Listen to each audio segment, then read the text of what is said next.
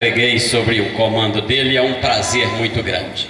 Não é? O irmão Lázaro, que está ao lado dele ali, um homem também batalhador, e nós temos uma história junto, não é assim, irmão Lázaro? Eu me lembro que o irmão Pedro, aqui, que congrega com a gente, vivia uma luta para aposentadoria. Lembra disso, irmão Lázaro? Nós o procuramos e com 17 dias, depois de termos lhe procurado, ele ficou aposentado.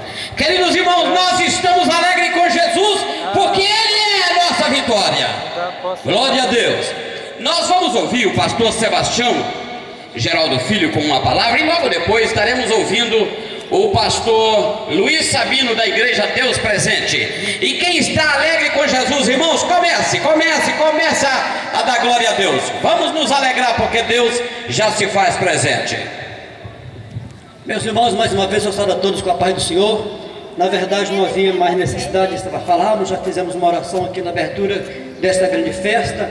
E a verdade é que parece que o pastor Antônio Rosa tirou da, da, da, da minha boca as palavras que ele disse aqui acerca até de agradecimentos das pessoas que nós temos um respeito e uma consideração.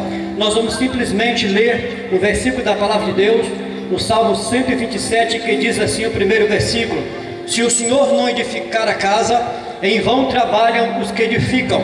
Se o Senhor não guardar a cidade, em vão vigia a sentinela.